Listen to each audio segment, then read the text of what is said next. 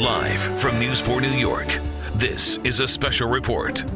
Hello, everyone. David Ushery once again updating you on what can only be described as a very dangerous and volatile situation right now in the southern part of Jersey City. We've been watching a live feed and witnessed a war zone, really, a volley of gunfire that was extraordinary. I'm going to take you out to News 4's Adam Kuperstein and Eddie Alonzo, who have been there. Adam, I know you're there. You're in a safe position. If you have to just run, do it because we just know what you just heard and witnessed. The war zone is right, David. We've heard return fire now, gunshots for about 10 minutes straight, dozens of shots. We've seen a, a number of officers, armed officers, running by us because let me show you how close we are to the situation. That police tape is less than two blocks away from the bodega where law enforcement sources tell us one officer was shot in the head as in now critical condition. This is inside a bodega where a man and a woman, according to our sources, are holed up inside in some sort of standoff situation. And you can see ambulance, SWAT teams, federal, state officials here, and the response is growing by the minute. We have not heard gunshots now in the last minute or two, but let me play for you what this sounded like when you mention a war zone. Take a look and a listen.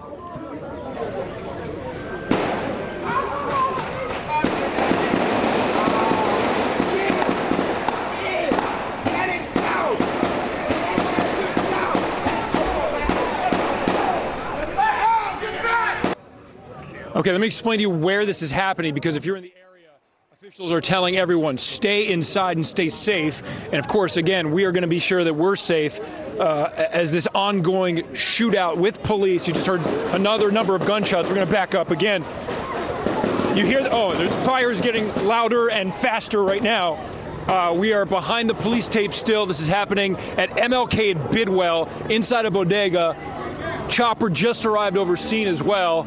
As you can see, dozens of onlookers out here from the neighborhood who are shooting cell phone video as this is happening. And now the gunfire increased again. You can smell the gun smoke from here. Uh, again, here's what we know right now. All this preliminary, as you can see, ongoing situation, uh, a possible ambush situation where law enforcement sources tell us at least one police officer was shot in the head. That officer, as far as we know, in critical condition inside a bodega where a man and a woman at last check were holed up inside.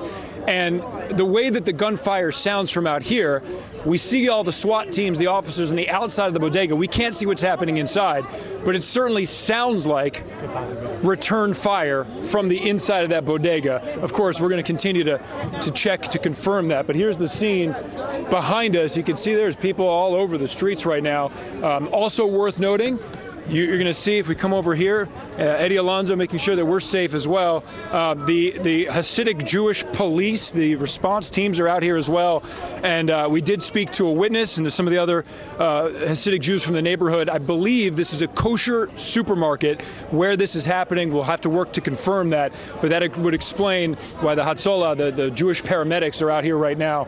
Uh, as this ongoing standoff with police continues. Here's what a witness told us just a little bit ago. Okay, you know what? We'll get to that in a second because this is ongoing, and and you can see that uh, the police are police are still trying to figure this out. If you can see that right now, more responding officers surrounding that bodega, right there in the corner of MLK Drive and Bidwell. And uh, we're going to stay with this for a second because it looks like they're gunfire stopped for the last 60 seconds or so, 90 seconds or so.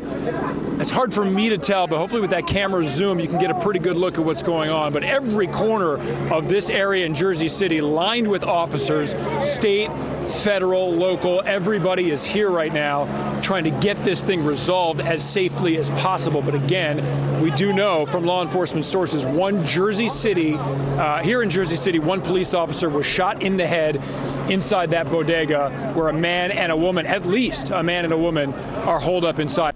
Thank you for watching this video from NBC4 New York. You can subscribe by tapping the button below me, and on the left you can see our latest updates, investigations, and digital exclusives. We'll see you next time.